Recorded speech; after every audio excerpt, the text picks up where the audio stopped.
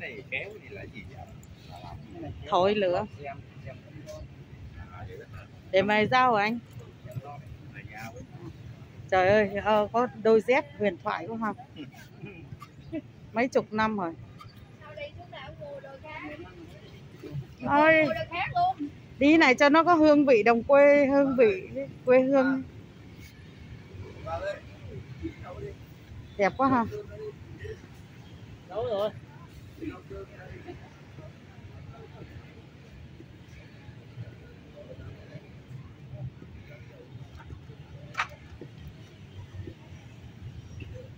cái này chỉ xem ở trên phim thôi nhưng mà giờ là được nhìn thật này này. Nhìn thấy thật. Thấy người thật việc thật này. Giỏi quá. à.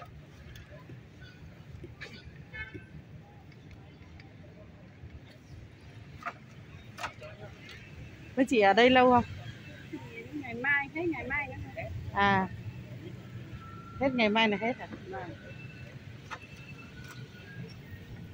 Hai người chị gái Đây, đây xay gạo, xay ngô à?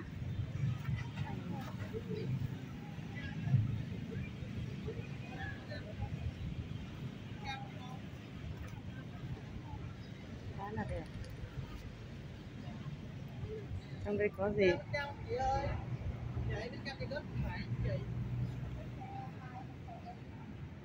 Có sáo này.